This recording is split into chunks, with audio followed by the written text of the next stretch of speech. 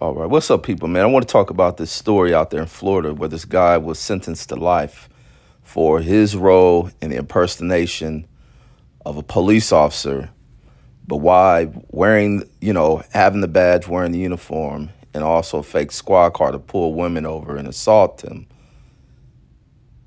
This fool has the audacity to act as if he wasn't given a fair trial. And salute to the judge because I think this sentence that he received matches the crimes that he was pulling off. Peep this story on this fool. Evans pretended to be a police officer. He used a fake badge to target his victims nearly two years ago. In December, a jury convicted him of kidnapping and rape.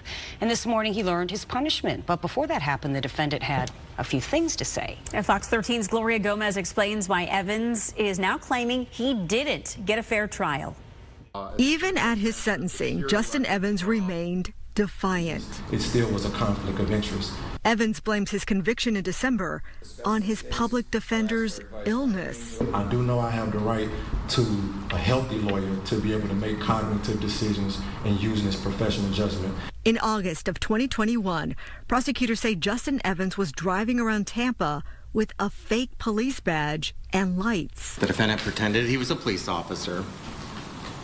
He effectuated a traffic stop on a vehicle containing three women. One of those women says Evans ordered her out of the car and arrested her. He told me that I was under arrest because he found marijuana in the car. She says Evans handcuffed her and put her in the back of his car. He then drove her to an apartment complex where he raped her. Additional charges were filed against Evans when another alleged victim came forward after reading media reports and recognizing his car. This time, the crime was captured on surveillance video. Deputies say you see Evans driving a dark colored Chevy Malibu, pretending to be a police officer, pulling over a woman near the corner of Brook Street North and Busch Boulevard East.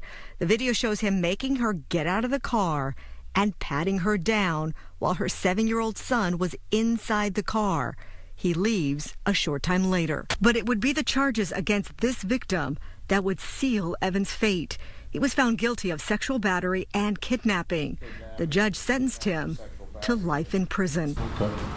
All right, so there y'all hear it, man. And this is what I'm always talking about is the sucker ass individual in society who can't get laid, weird than a motherfucker that they this fool goes off pulling this shit off by dressing as a cop, pulling women over, arresting them, and doing this type of shit. And ain't no telling if there's more women out there this fool may have assaulted in this matter and, forceful, and forcefully raping them or whatever this fool was doing to other women. But he was charged for doing that to a woman. So it's probably a lot of cases. Probably food could be serial rapists out there. And maybe more women to come up or some women to stay quiet because they don't want to, you know, be embarrassed to have to have if it goes public or whatnot. But it's the sick, sinister motherfuckers we got in society and why you got to be observing this shit. Not to put fear, because some people be like, oh, this is depressing, it's fearful. Man, cut that weak shit the fuck out.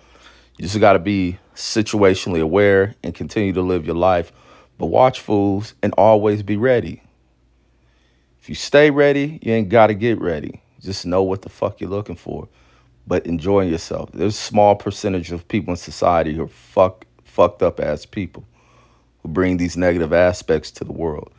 Uh, and they become magnified because of, you know, this type of behavioral psychopathic shit that you know can kind of really stir around fears in society. But uh, you just got to be be ready, and it's it's it's a small percentage of motherfuckers that are on that shit. But uh, that's all I got. And also with people, man, y'all know the weird motherfuckers around you who are weird motherfuckers, uh, uh, can't control themselves, don't get laid, and if there's stories of situations where women are taken advantage of, psychopathic serial killing shit going on, motherfuckers, y'all know where the clues are. Y'all know weird people around y'all.